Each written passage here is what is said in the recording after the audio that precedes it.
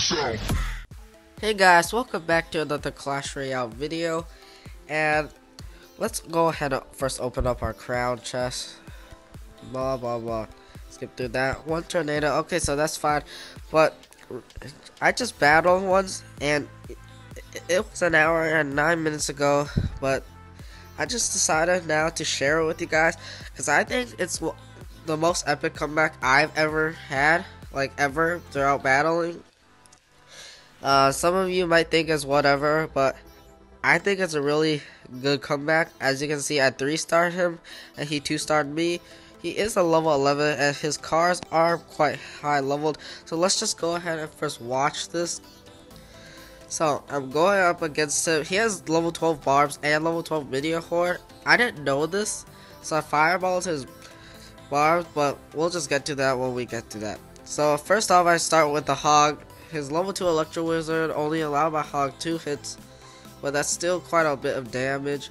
Then my Goblin Gang takes care of that Electro Wizard, and he's gonna place a Musketeer, but the Goblin Gang's still gonna get some chip damage. See, I was debating on whether to fireball it at the time, but I decided not to, and I was lucky I decided not to. There's the failed log that completely missed the hog.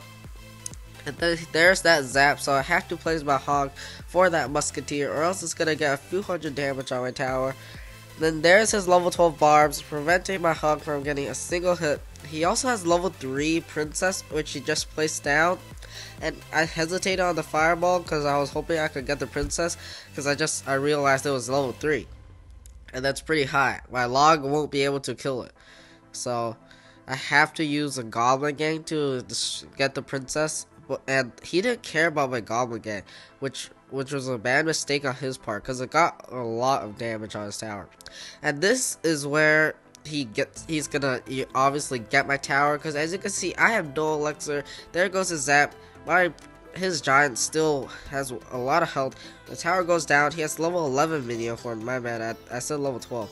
And then because they decreased the Electro Wizard hit speed by 0.1 seconds, there's a lot of different Electro Wizard interactions now. And as you can see, there was one of them just a few seconds ago where the Electro Wizard couldn't kill that minion before it killed the Electro Wizard. So I don't think they should have decreased its hit speed. But I was gonna use the Skarmy on the Electro Wizard, but because of the fact that he has a princess, I have to use uh, on that. And then I'm just gonna gonna ignore that Electro Wizard, cause uh, it's not gonna get too much damage. I Fireball didn't get anything, bad mistake on my part, and I'm pretty much screwed up right now.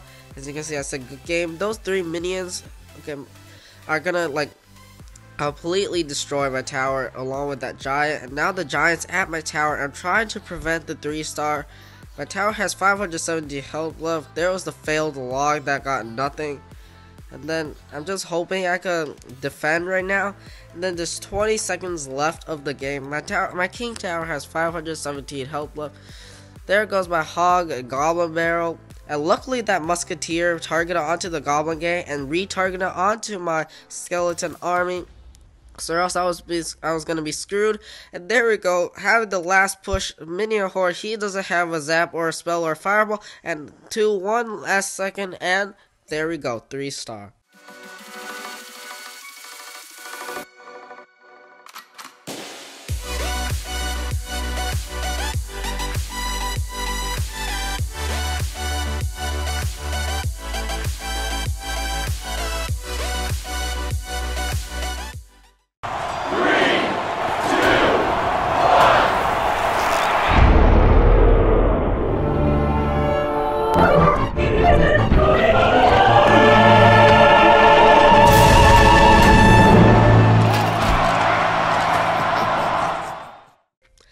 From us getting both of our towers down and King Tower having 93 health left, I managed to go ahead and 3-star that guy. So I just think that's a really epic comeback. And I think I'll also open up my giant chest. I've had it for a long time now. I was waiting for the heal spell, but they haven't released any news on the heal spell or any other card for that matter. Heal spells right here. Uh, the uh, the Night Witch and the Bandit are here. They haven't released when they're gonna release them, so let's just go ahead and open up our giant chest so we can clear up a slot. So we got Executioner, 31 wizards, and 272 minions. Not the most useful, but it's just a giant chest anyways. Let's just go ahead and donate the, the executioner we just got, and open up our clan battle chest. So gold, 9 elite barbs, 21 knights, 1 golem, 88 minion hordes, bombers, rare, epics, and it's gonna be a rare. So 27 mega minions. So that's a decent uh, clan chest actually. It's only guaranteed two epics, but I got three, so that's always useful. So I, I'm gonna wrap up the video right here. Uh, if you guys do enjoy, and if you guys had an epic comeback like the one I had, be sure to tell me what it was in the comment section below, and I'll see you guys in the next one.